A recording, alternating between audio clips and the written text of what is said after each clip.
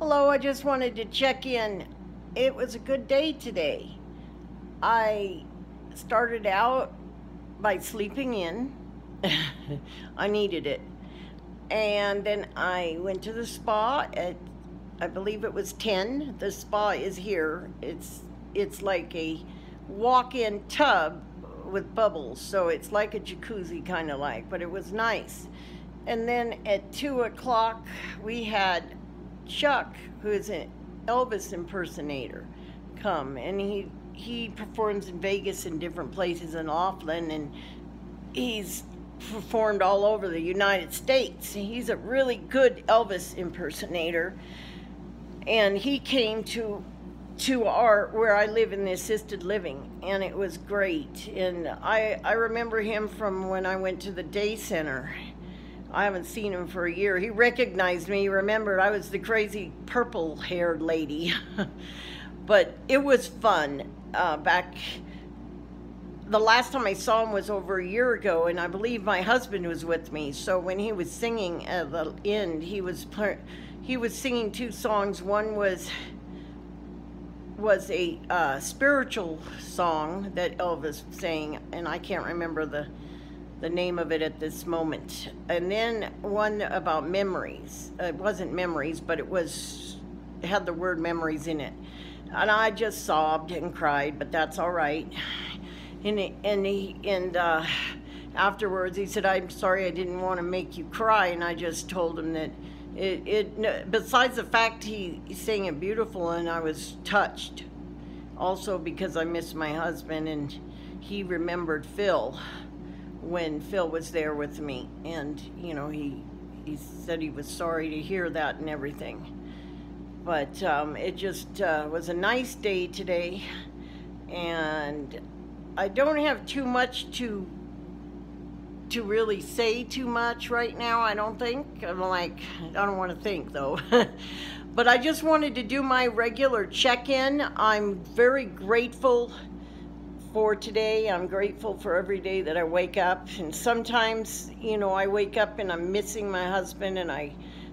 Uh, I share about this openly for people that are going through similar situations of, of of losing a loved one or a husband or a wife or a child or it, it's not easy to go through and it's life and we're all to go and we don't know when our time is going to be and that's why i think it's so important for us to let our loved ones and our friends know that we care because you just don't know when the last time we're going to see each other and i don't want to be uh, make it a negative situation, but it's true.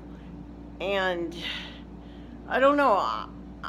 I'm feeling better today. Uh, yesterday was a good day too.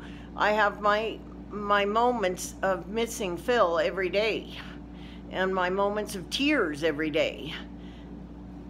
But I also have joy today, and I'm not. I don't feel guilty to feel joy anymore. There were times I was feeling guilty to feel at peace because my husband isn't here. But I know that's what he wants me to feel is peace. And I'm just truly grateful that, that God is giving me that peace. And that peace is stronger than I've ever felt it. I believe it's because Phil is watching over me and letting me experience the peace that he's feeling. And I believe that.